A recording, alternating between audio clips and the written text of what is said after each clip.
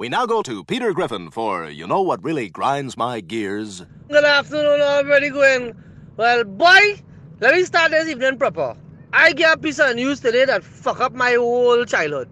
Apparently, the people behind Jim Henson's puppets from Sesame Street came out and said that yes, Ernie and Bert gay.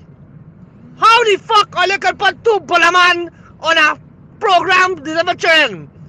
I thought there's two partner that you know living together because they share any rent because you know rent expensive on Sesame Street and they go ball well here what eh? We go split the rent. And and Bert is then two brethren from school. Me and not two of them bullying one another. Oh fuck man, that fuck up my whole childhood. I had a rubber ducky. I had a fucking rubber ducky that I used to bathe it child. I used to look up at the moon and I never I'd like to visit the moon. What that fuck up my whole childhood, boy?